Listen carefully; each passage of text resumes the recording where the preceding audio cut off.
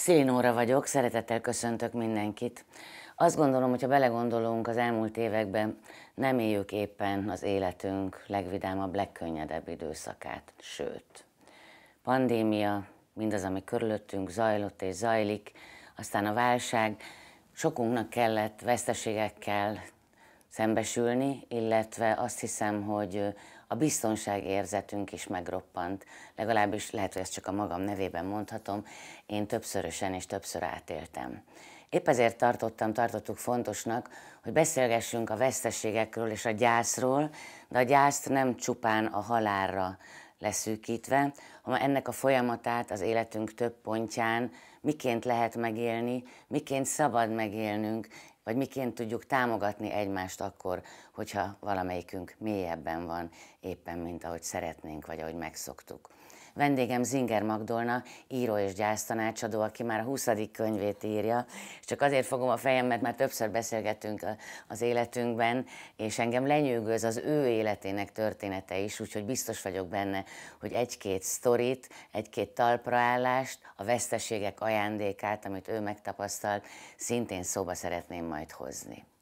Hogyha egyetértesz egyébként azzal, hogy a gyász fogalmát azt ugye alapvetően a halálhoz kötjük, ami némiképp tabusítva van még mindig, és szerintem nem véletlen, hogy oly sokszor beszélgettünk mi is nyilvánosan, meg tehát számtalan helyen erről, hogy, hogy egy kicsit újra kéne, vagy át kéne értelmezni, vagy tágítani kéne az emberek tudatában? Igen, hát mi szakemberek, gyásztanácsadók pontosan tudjuk, hogy reagálhatunk gyászra, akár egy munkahely elvesztésre, vagy akár egy egészségromlásra is, egy párkapcsolati veszteségre, tehát bármi, ami megérint bennünket mélyen, ami komoly veszteség, arra reagálhatunk gyászsal.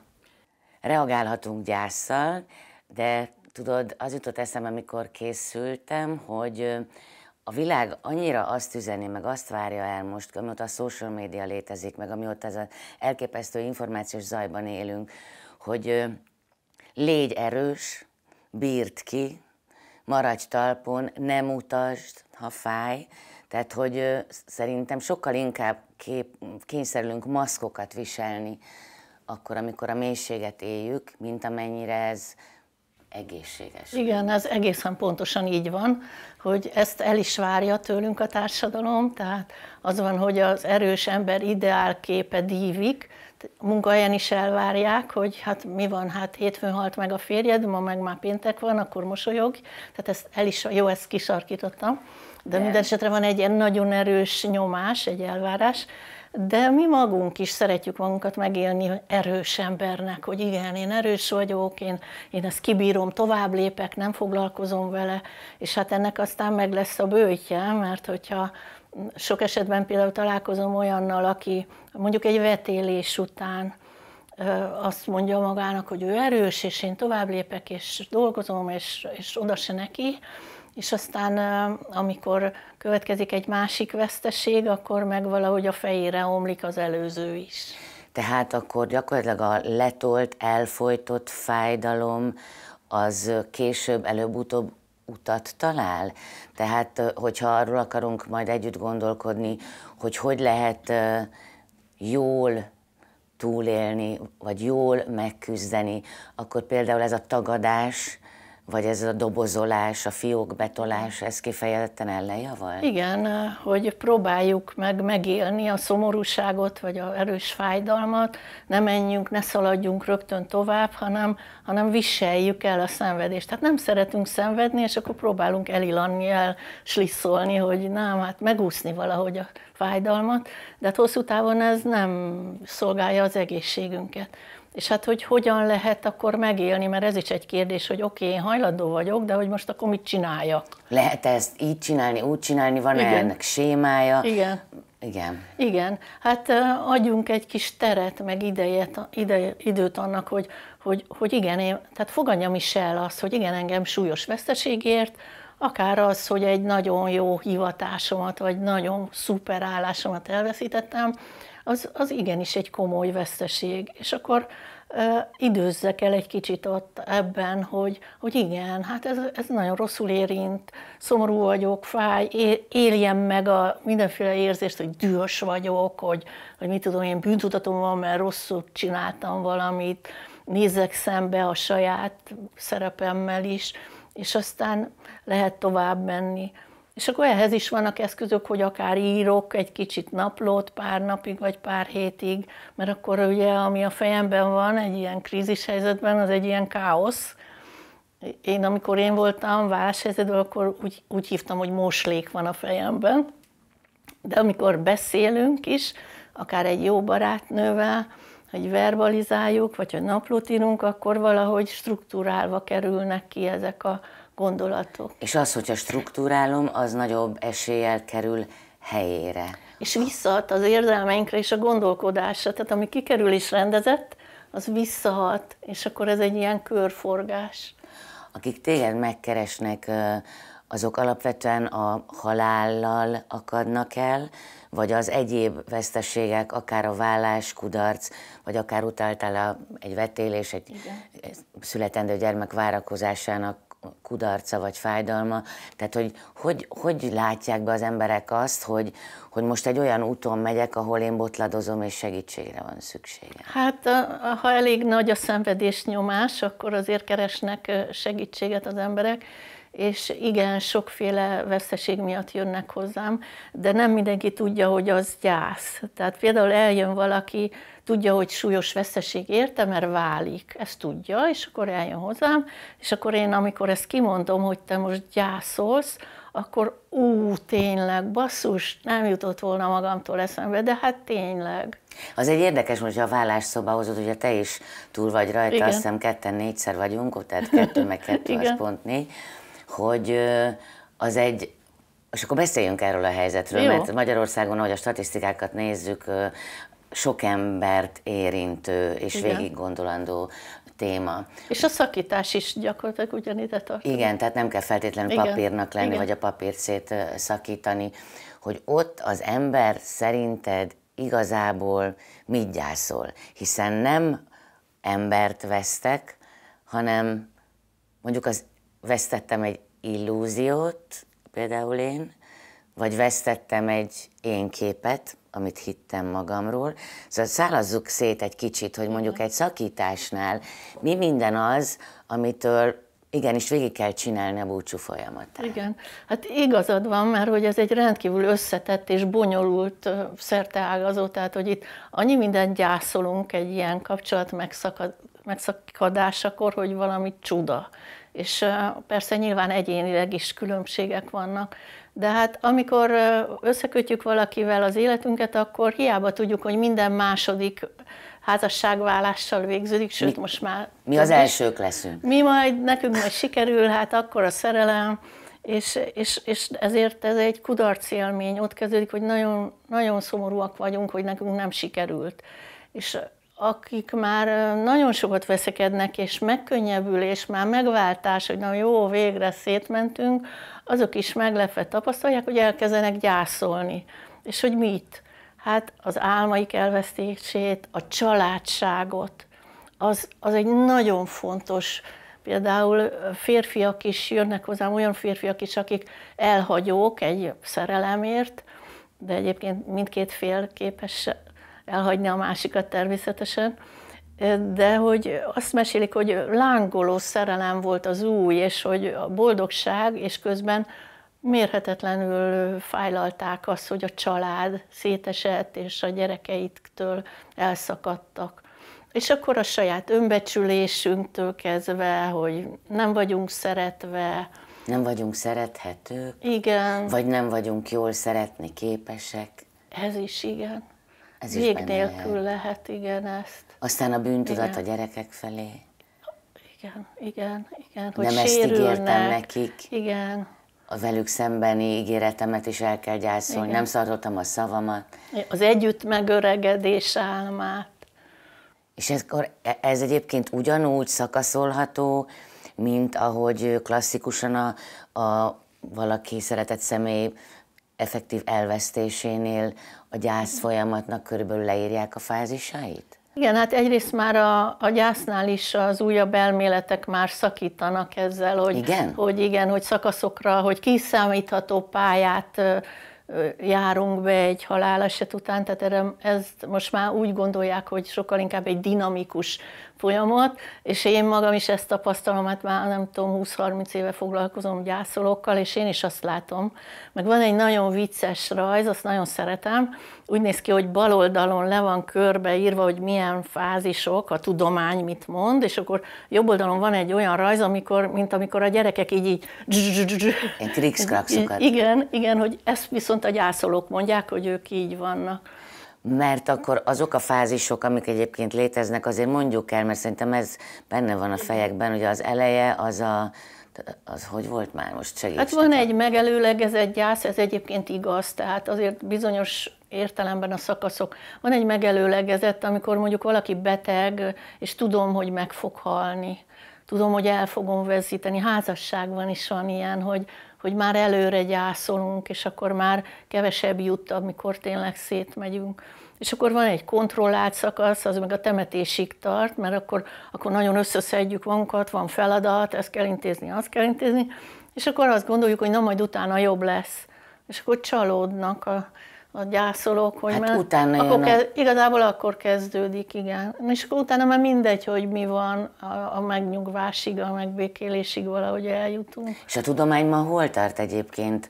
Ma volt ugye, hogy nem véletlen a gyászév fogalma, Igen. mert ugye, hogy a legnehezebb az első ünnep nélkül, az első Igen. szülinap, az első névnap, az első évforduló, az első karácsony, és hát sorolhatnánk, hogy az első halottak napja, hogy, de olvastam most olyat is, hogy tulajdonképpen már két évre kihúzták, vagy ebbe sem szabadnak kategóriákban, vagy önmagunkkal szemben elvárásokban gondolkozni, hogy nekem mikor kell már jól lenni. Eltelt már ennyi idő, miért nem vagyok jól? Igen, annyira jól látod ezeket, hogy, hogy nem jó valóban sürgetni a gyász folyamatot és elfogadónak kell, kell lenni magunkkal. Az mondjuk egy fontos, hogy van-e változás, hogy, hogy mozdulok-e valamennyire, vagy, vagy tényleg csak meg vagyok ragadva egy helyen.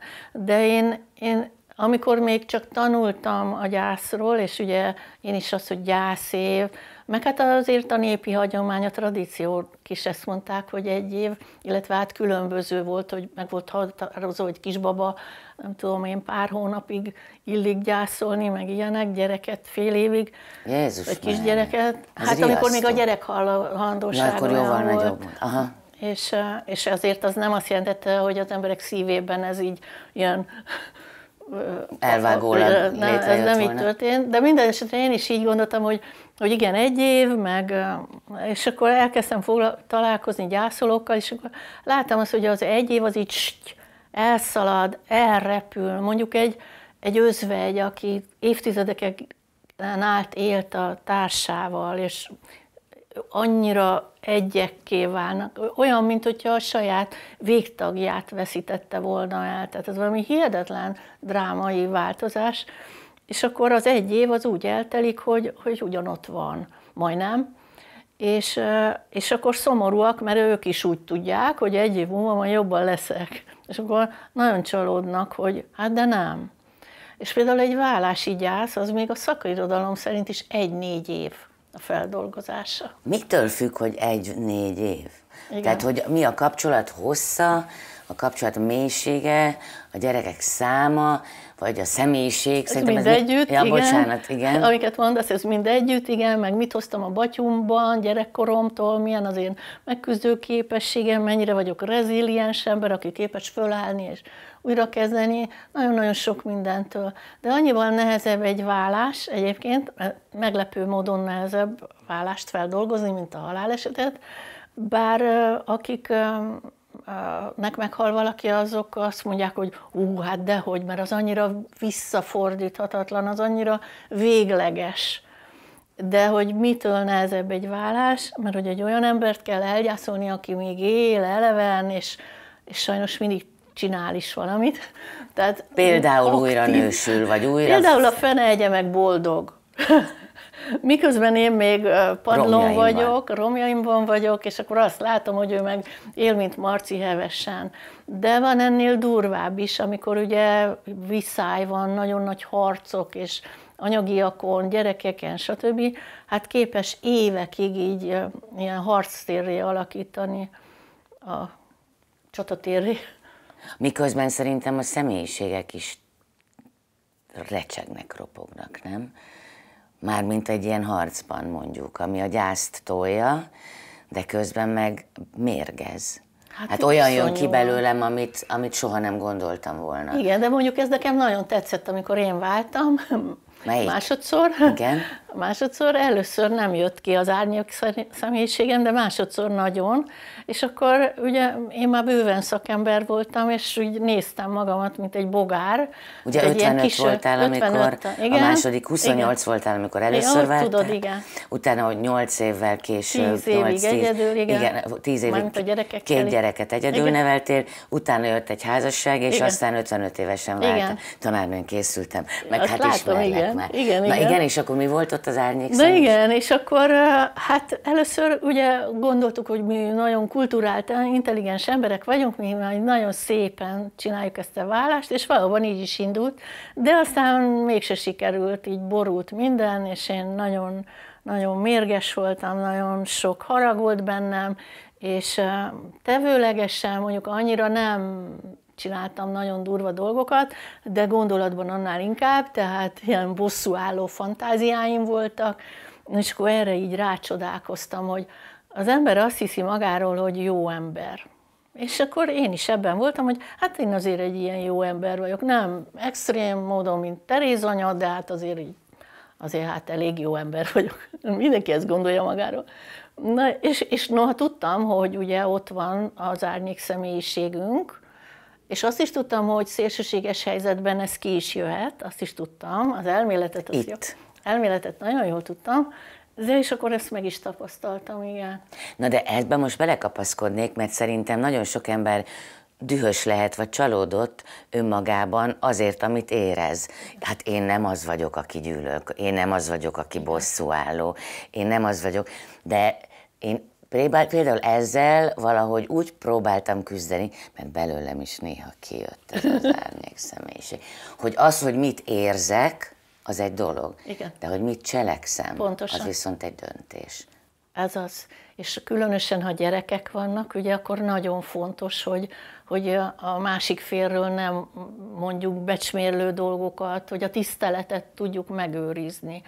Tehát érezni szabad. Igen. Tehát azt meg kell engedni, nem? Mert hiszen egy lefolytott düh Muszáj is. attól még igen, ott, ott igen, szorongat, igen. vagy az a, a felhánytorgatás szándéka, igen. vagy vágya, vagy azok igen. a fantáziák, hogy mit mondanék, vagy mit igen. olvasnék neki. Igen. Lehet, hogy ilyenkor is érdemes írni egy levelet? Olyan levelet is, amit nem küldünk el, Na, ugye? Olyanra gondoltam, hogy ne de, küldjük el. De hát egyébként nem kell teljesen visszafogni, hát hogyha haragszunk, és jogos a haragunk, akkor kiszabad az illetőnek fejezni a haragunkat is. Csak azért egyrészt tartsuk meg azokat a határokat, meg, meg, nem, meg főleg ugye a gyerekeknek, vagy nem mindegy, hogy a rossz hírét keltem, de hogy szemtől szembe igenis fejezzük ki a haragunkat. Vállás és gyász, és többször említettük a gyerekeket. Igen. A gyerekek is meggyászolják a vállást, nem? Iszonyú módon, igen. Vajon jól figyelünk rájuk akkor, amikor mi magunk is küzdünk a veszteségünktől való búcsúval, vagy ott jobban résen kéne lenni? Minden a feje tetejére borul ilyenkor, tehát nagyon-nagyon nagy érzelmek szabadulnak fel. És az a jellemzője egy házasságnak, hogy, hogy a kötődés az nagyon hamar kialakul, és nagyon lassan oldódik. Tehát, hogy hiába már akár gyűlölik egymást, persze nem, mert a mélyén ott a szeretet, de, de nagyon nehéz ez az elszakadás. És akkor ez, ez nagyon sok érzelmet és nagyon sok indulatot felhoz. És ezért borzasztó nehéz a gyerekekre figyelni. Van a Gyurko Szilviának egy ilyen fantasztikus könyve, az a cím, hogy Rám is gondoljatok, kifejezetten gyerekcentrikus vállásokról ír, és abban van egy nagyon érdekes gondolat, hogy, hogy ha, ha figyelünk a gyerekeinkre, akkor a saját gyászunkat is megkönnyebbítjük. Hmm. De nyilván hát ugye a fókusz átkerül, hogy, hogy én figyelek jobban a gyerekemre. És ott egy szeretet energia van, amit Igen. talán már elkezd gyógyítani. De ha már a gyerekeket mm, behoztuk, és beszéltünk a vállásgyászáról, és abban mondjuk azt, hogy érdemes a fókuszt áttenni, az is egy nagyon érdekes témakör, hogy mondjuk egy konkrét szerettünk elvesztésénél a nagymama, vagy éppen a férj, vagy az anya, vagy ott is ott vannak a gyerekek, akiknek nagyon különböző lehet a gyásza. És érdekes dolog, hogy ahogy magunktól elvárjuk, hogy hogy kéne ebben a helyzetben működni, mit tapasztalsz, és erről könyvet is írtál, hogy a gyerekek gyászainak különbözőségéről hajlamosak ítélkezni az emberek, nem? Ami nagy hiba. Hát nem csak ítélkezni, hanem elhanyagolni a gyerekeket, tehát kiközösítik valahogy a közös családi gyászból ki, ki, gyerekeket kíméletből természetesen meg akarják kímélni őket. Pont azért, mert ilyen tabulvá vált ugye a halál témája, és, és már előtte is kéne beszélni ha a gyerek kérdez, tehát hogy az kellene, az lenne ideális, hogyha nyílt lenne a kommunikáció. De nem nyílt, hanem az van, hogy a kisgyerek elkezd kérdezni, mert érdekli őt a halál. És akkor tapasztalja, hogy a szülők hárítanak, hogy zavarban vannak, és akkor ő se kérdez tovább, és akkor ez így ki is alakul a családban. És akkor meghal a nagymama, akkor tovább folytatják ezt, hogy hímölnek, hámolnak, elutazott a nagymama, meg nem tudom, nem minden családban természetesen, Persze. de azért eléggé általános, hogy próbálják, nagyon-nagyon próbálják megkímélni, és hát ez nagyon-nagyon rossz, mert a gyerek azt csinálja, hát a kisebb, a nagy az azért már felfogja, a kisebb gyerek az azt csinálja, hogy azokat a hézagokat, amik kialakulnak, mert vala, kap valami információt, de közben érzékeli, hogy a családban valami nem ugyanaz, és akkor ki, ki, kitömi ezeket a hézakokat az ő saját fantáziájával, ami sokkal rosszabb egyébként, mint hogyha nyíltan lehetne beszélgetni Mert vele. például mondjuk azt hiszi, hogy neki ehhez köze van, vagy ő hibás, vagy hogy ő valami például, rosszul csinált, például, mert ez vállásnál igen, is van, igen. hogy egy elhallgatott, nem kibeszélt vállási igen. gyerekek különböző életkorának megfelelő szinten adott esetben a, biztos én voltam a rossz gyerek, Igen. biztos én... Igen. Tehát akkor... Mert még egocentrikus az ő látás, mondjuk a kicsik, az óvodáskorúak, és akkor persze, mert nem vettem fel azt a sapkát, amit a nagyi horgolt nekem, vagy nem tudom, tehát hogy ő, ő valamit fantáziál, mert hogy önmagából indul ki. Ilyenkor viszont Ugye ez egy nehéz, mert valami fajta pszichológiai tudást, vagy nem kell pszichológiai tudás, inkább csak a gyermekem ismerete ahhoz, hogy a megfelelő módon, és mennyit szabad elmondani, Magdi? Hát főleg az, az a tanítás, hogy, hogy kérdezzünk. Kérdezzünk vissza, hogy, hogy egyetem mire kíváncsi. Mert föltesz egy általános kérdést, akkor mi pontosíthatjuk, hogy pontosan ez miért érdekli, és mindig annyit kell válaszolni, amit, amennyit ő akar, tehát nem belemenni, nem tudom én, fölösleges részletekbe természetesen, főleg nem riasztó részletekbe.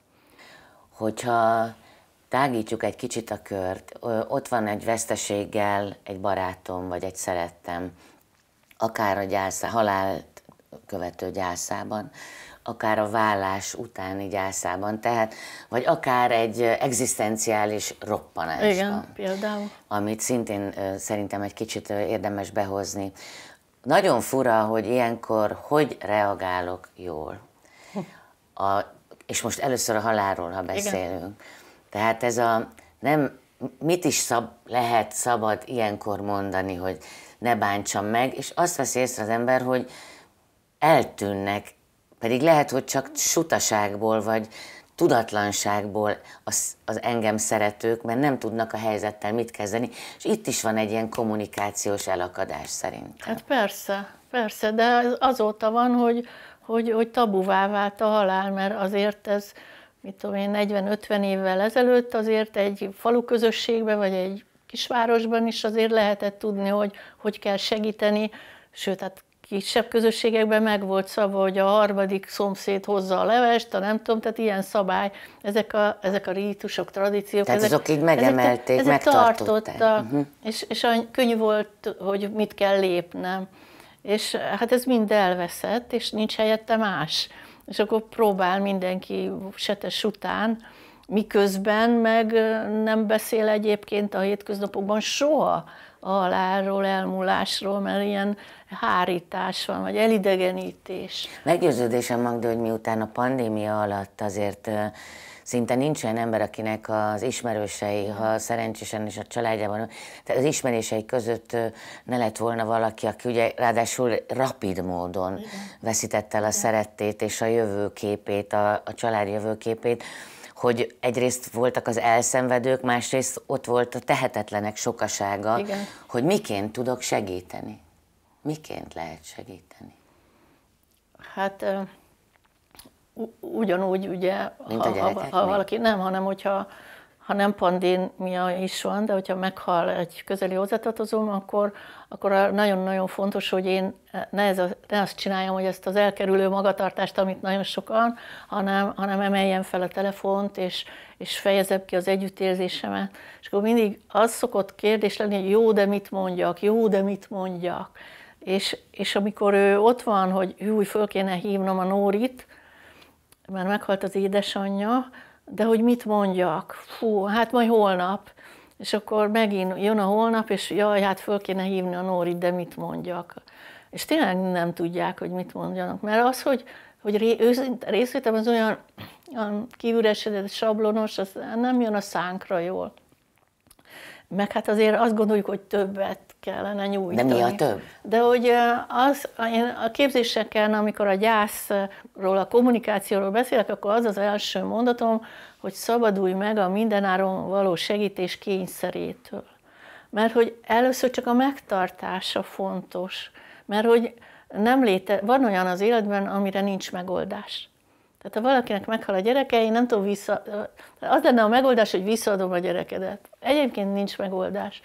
És ezért az első időszakban még a szakember is, tehát még a professzionális segítő is csak ezt a megtartást tudja Ami mit nyújtani. jelent a figyelmet? Az, hogy, hogy, hogy igen, hogy, de főleg inkább a család, először is a barátok, hogy ott vagyok, jelen vagyok, nagyon kedves nekem a szívemnek az, amikor valaki megözvegyült, és ott beköltözött a barátnőjéhez, aki megözvegyült két gyerekkel, és akkor ott egy patchwork takarót kezdett varni. És az azért szimbolikus, mert hogy itt vagyok, de nem zavarok, viszont bármikor elér, elérhető vagyok. Ja, most érdekes, hogy behoztad példának, hogy a Nóri, aki elvesztette az édesanyját, úgyhogy majd mindjárt sírok. 2019. május 1-én ment el, és, és én, én is éreztem a engem szerető barátaimban a, a zavart. Hát én nálam Igen. ugye függöny le.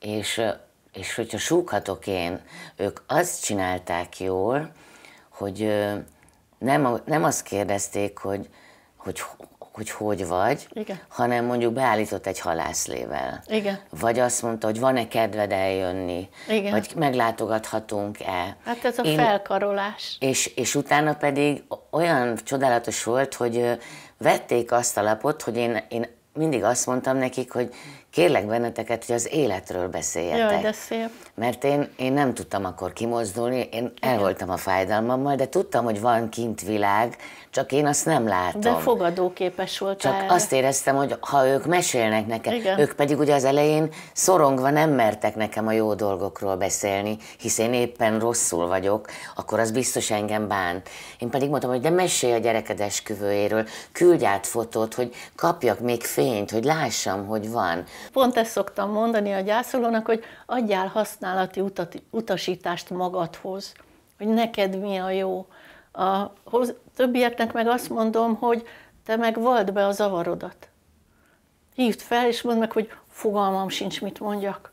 Tehát semmi másnak nem kell lenni, csak őszintén. Hát semmit, igen. Mondhatod, hogy hú, egyszerűen fogalmam sincs, ne arra, hogy én, én csak hívlak már, izé, hebeghetsz, habaghatsz, csak ne, ne lógi meg ezzelől. Na de az sem mindegy, hogy túl sokat se szabad zavarni, tehát hogy azért nem olyan egyszerű ez, mert megtalálni azt az egyensúlyt, azt az arányt, ehhez egyszerűen csak figyelni kell a másikra, hogy, hogy, hogy neki mi a jó, tehát ilyen empatikusan. És te meg kifejezted, hogy mit szeretnél, hú, de jó, megörültek, jaj, de jó, tudok segíteni. Tök jó. Igen, de ilyenkor valószínű a gyászoló meg sokszor elbújdokol, mert nem akarja terhelni a környezetét a fájdalmával.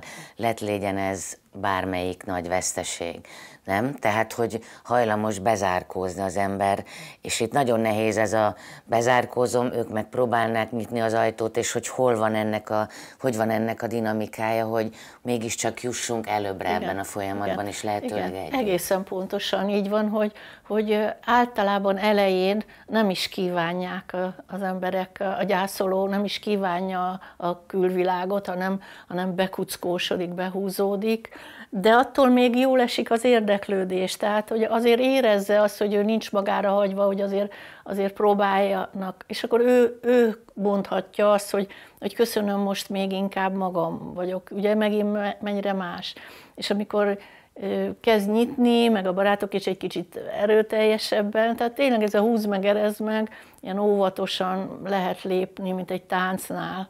Hmm. De hogy az odafigyelés a lényeg ne legyen prekoncepcióm, hanem rád figyeljek igen, abban, igen. hogy hát benned mit érzek, ugye? És, és annyira egyéni a gyász, hogy, hogy lehet, hogy valaki bulizni jár, mert nem bír otthon maradni. Engem annó fölhívott egy nagyon kedves munkaadóm, akinek 24 éve vezetem a konferenciáját, amikor megtudta, és akkor mondta, hogy akkor Norci, akkor ne számít csak rád. Mondom, Isten ments, hadd menjek, hát, hadd menjek. Igen óvatosan Igen. megkérdezte, de én is én nem bulizni jártam, de a munkaterápia segített, és viszont itt behoznék még egyet, hogy milyen érdekes, hogy vannak elvárások a gyászolóval kapcsolatban. Igen hogy bír már dolgozni, Igen. mikor most, hogy bír mulizni menni. Igen. Tehát ebben szerintem Igen. szintén kellene egy kicsit a szemléleten változtatni. Igen, nagyon fontos ez, amit mondasz, nagyon-nagyon fontos, meg, meg például a nevetés is, hogy, hogy attól, hogy aktuálisan képes nevetni, mert hall egy jópofa dolgot,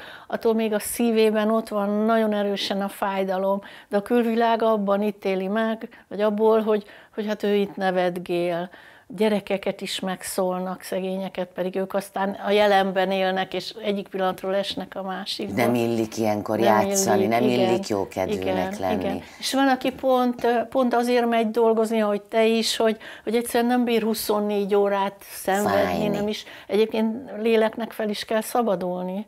Úgyhogy inkább csak az a baj, hogy aki, aki beleveti magát a munkába, és gyász helyett is, tehát ez a, hogy ezzel próbálja magát gyógyítani. Az tolja maga el. Az, az megint csak nem jó, igen. De van olyan, aki például ö, megözvegyül egy férfi, és akkor ilyen promiszkuitásba menekül, hogy, hogy le, lefekszik füvel, fával, és akkor ő róla is egyből, hogy pedig ő kínjában, tehát tényleg ezért teszi, mert, mert egyszer megőrül már. És akkor van aki, a másik, aki meg aki egy éven át gondolni nem tud nőre, vagy nő nem tud gondolni se új társra. Tehát azt kéne tudatosítanunk, hogy ez elképesztő sokféle, Igen. és legyünk megengedők a, igen. a sokféleséggel, és ne ítélkezzünk Igen. bármilyen belénk égett, hallott, olvasott, Igen. nem tudom, lelkünkbe karcolt külsőségek, vagy látszólagos szabályok Igen. mentén, Igen. hanem az embert nézzük Igen. meg az ő helyzetében, Igen. miközben nem vagyunk az ő cipőjében. Igen. Igen. Mert nekem ez az állandó bajom egyébként az ítélkezéssel, hogy oké, okay, hogy van véleményed rólam, de az én életemet én élem, Persze. az én cipőmbe én járok. Igen. Igen. Tehát, hogy ebben a tolerancia, vagy az, amit te mondtál, az empátia lenne szerintem egy, Igen. egy nagy kulcs. Meg azért, hogyha tudnának, tudnának többet az emberek a gyászról, hogy, hogy egyetem mi az a gyász, akkor, akkor nem ítélkeznének annyira. Ha például tudnák azt, hogy a, hogy a nevetés az a feszültség, tehát hogy temetésen nevetnek emberek, mert, mert ott aztán nagyon-nagyon nagy a feszültség.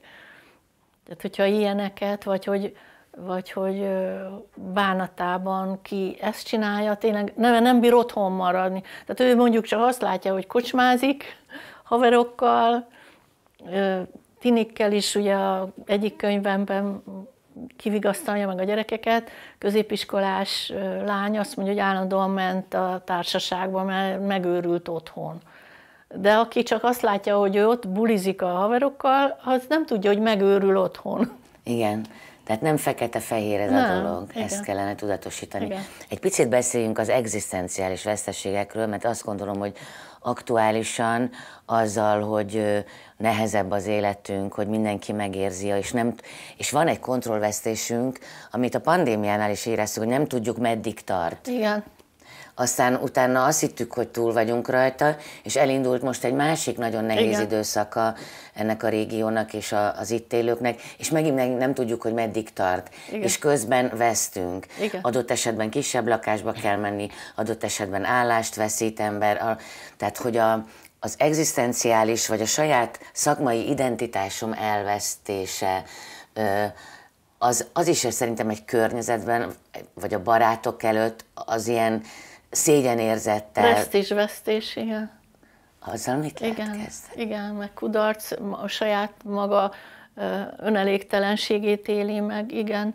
Hát ezek nagyon nehéz dolgok, de a, ebben a mostani nagyon nehéz helyzetben is mégiscsak az a, az a tanács, vagy az a, az a jó stratégia, hogyha ha nem riogatjuk magunkat jövőbeli elképzelt dolgokkal, hmm. mert hogy ezt csináljuk többnyire, de hogyha megzaboláznánk a gondolatainkat, tehát hogyha képesek lennénk kontroll alatt tartani, hogy, hogy az most ez konstruktív dolog, ez most segíti azt, hogy, hogy jó, akkor milyen feladatom van, hogy elveszettem a munkámat, vagy nem tudom, akkor mit csináljak, ez egy konstruktív, de, de az, hogy most lesz háború, meg, meg hova fognak az árak, tehát hogy azért nagyon-nagyon tudjuk magunkat hergelni.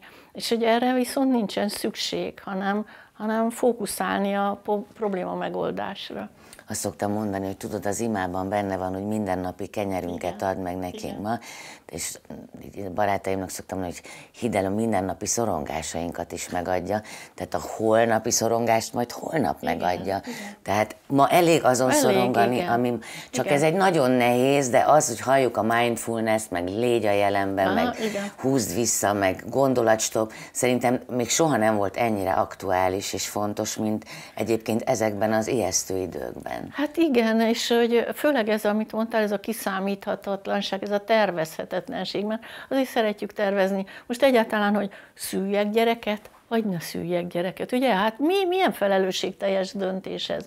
De hogy itt van az ökokatasztrófától kezdve a háborús fenyegetettség, a, a, a rezsi, az árak, a nem tudom, mi minden, egyszerűen minden. És hajlamosak szerintem az emberek adott esetben a, a vélt jövőképüket, vagy remélt jövőképüket is már gyászolni. Hát igen. Nem? Igen, igen. Temetni. Temetni. Temetni. Mit kellene, akkor jó, legyen pozitív a végkicsengése.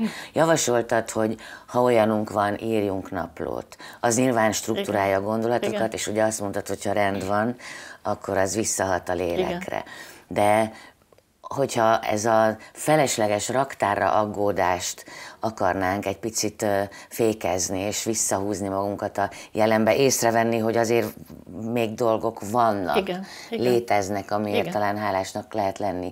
Erre milyen gyakorlatok vannak? Hát nekem személy szerint például pont ez a hála gyakorlat, ez nagyon bejött, de az az érdekes, hogy, vagy az a nehézség, hogy szokásunká nehéz tenni bármit is, mert hogy ugye ez most divat is ez a hála dolog, könyvek, cikkek jönnek erről, de, de hiába olvassuk, ha egyszer nem tesszük szokásunká. De nekem sikerült pár éve. De na, és, hogy? És hát odafigyeléssel, hogy fel kell az ember, és akkor jusson eszembe, hogy, hogy örüljek, hogy, hogy van lábam, tehát ilyen alapvető dolgoknak kell örülni. Jön a víz a és csapból. A, jön, és meleg víz is van, tehát hogy a jelen az azért még mindig egy nagyon klassz tulajdonképpen. Jó, vannak periférián élő emberek, de, de mi is, azok is riogatjuk magunkat, akiknek még egyelőre van ennivalójuk, meg van ruhájuk, és mégis riogatjuk magunkat. És akkor én, én hát ezt aztán olyan szintre tudtam emelni, hogy na, egyszerűen kinyitom a hűtőszekrényet, és akkor kiveszem a brokkolit belőle, én vegán vagyok egyébként, vagy a karfiolt, és akkor rábámlok, hogy Istenem, ez a teremtmény, Hát mennyire gyönyörű, de tényleg mennyire gyönyörű, és nekem van ez a karfiolom, hát ez fantasztikus. Mint ahogy este pedig meg lehet csinálni azt, Igen. hogy az ember a napját leltározza. És a nap örömeit. És azt keresi meg örültem. benne. Mert abban is hajlamosak vagyunk azon stresszelni, hogy mi az, amit ma nem csináltam Igen. meg, vagy mi az, amit nem sikerült. Igen, meg nagyon feladatcentrikusak vagyunk, és nem pedig. Például a gyerekünk, ezt is szoktam a képzéseken is mondani, hogy, hogy amikor jön haza a gyerekünk az iskolából, akkor általában azt kérdeztük, meg én is akkor még persze, amikor neveltem a gyerekeimet, csak hibát hibára halmoztam, most meg már cseszhetem. Nem, már nagyok. De már nagyok, igen. De legalább átadod igen, a de hogy, de hogy nem azt kell kérdezni, hogy mi volt az iskolában, meg... Meg arra a válasz az, hogy semmi. semmi. Hanem, meg az hogy mi volt az ebéd, meg nem tudom, mi volt az örömöd.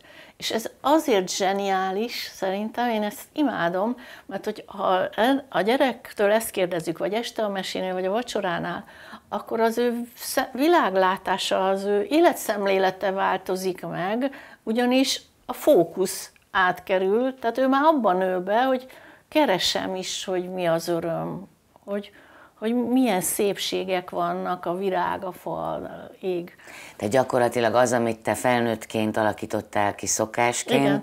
azt ha jól figyelünk a gyerekekre, akkor nekik már átadhatjuk Igen. picikorban szemléletként, Igen. Igen. hogy aztán észrevegyék a napot is, miközben Igen. sok az Igen. árnyék. Igen, és jobb kedvünk is van, tehát hogy én megfigyeltem azt, hogy amióta így rászoktam erre a hálaadásra, de mondom olyan, hogy hú, hát van lábam, mert és ugye... tudsz vele zumbázni.